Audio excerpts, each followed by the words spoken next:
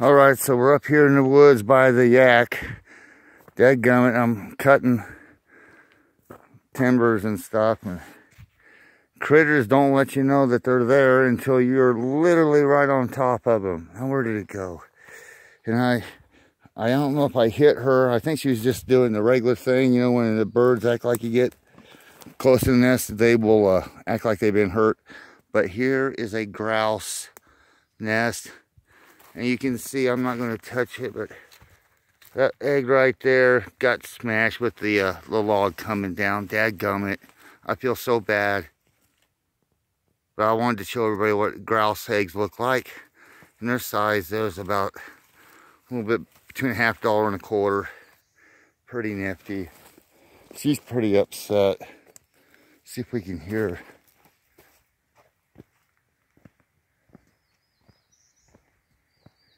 She ran over here somewhere.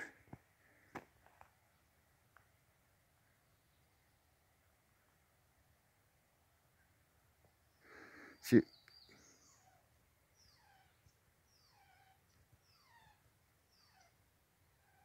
Hear that? That squeak? That's her acting like she's hurt.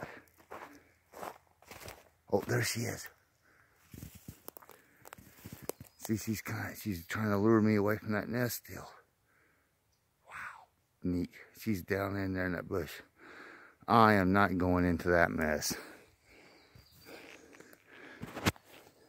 Anyways, thought you guys would like to see that. Get these pieces of wood out here and let her have her place back though.